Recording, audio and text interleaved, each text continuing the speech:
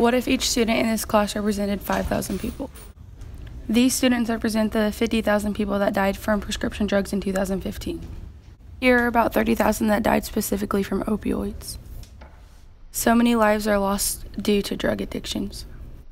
We must become aware of opioid addiction before it's too late for someone we care about. Unite in the fight, hashtag MO fights opioids.